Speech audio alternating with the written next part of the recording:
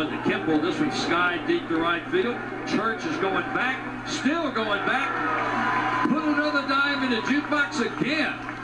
Solo home run for Connor Kimple, and the Cajuns lead it 3 to 2. And that's the kind of start that we're looking for Kimple to have here. Great swing, great power. You see the power there on the display there by Kimple. Doesn't have to do a whole lot with it. He puts it on the barrel up in the air, especially with this wind blowing out.